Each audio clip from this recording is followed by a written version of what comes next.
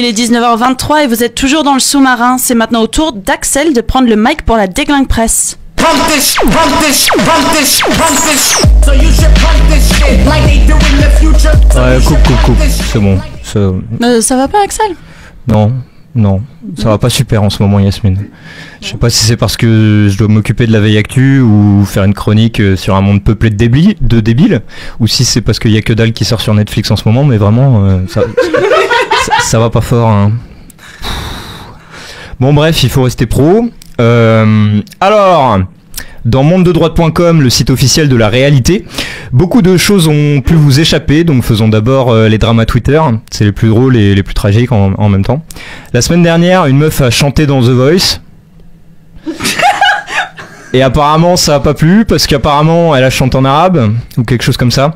Donc euh, les racistes sont allés sur Twitter pour voir ses tweets de quand elle était jeune. Et euh, il y en avait un qui était genre un peu euh, conspi nul, conspiration. Alors d'abord bien joué les racistes, hein. Bien joué.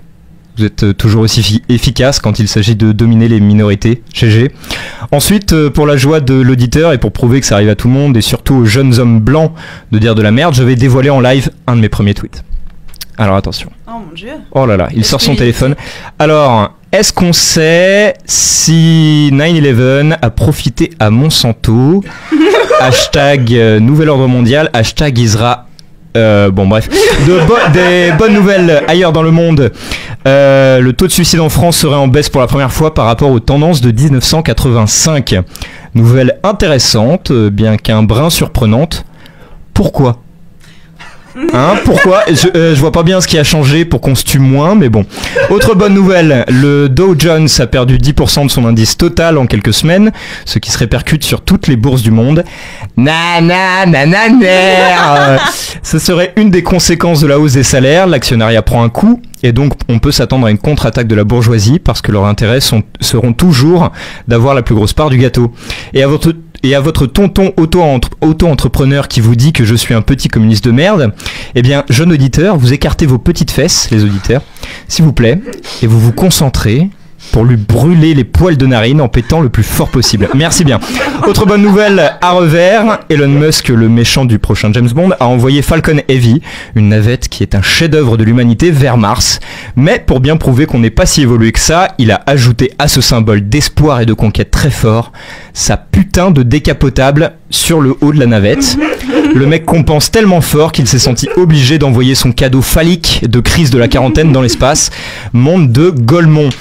Petit briefing rapide sur le reste de l'actu. Jawad a été relâché. Il n'aurait commis le seul crime que de foutre une mauvaise réputation aux gens qui écoutent et ressemblent à des membres de PNL. Une réforme scolaire bien pourrie s'annonce à l'horizon. Alors réjouissez-vous les collégiens et lycéens. Il y a un blocus qui arrive. Il est temps de sortir les Sarwell et les enceintes Bluetooth. Toutes pétées, vous allez pouvoir pique-niquer et vous promener en manif. Petit tips, si un journaliste vous demande pourquoi vous êtes là, ne répondez pas, c'est sûrement un piège.